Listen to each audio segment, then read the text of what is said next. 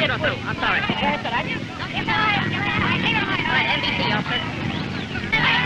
Put your hands on you.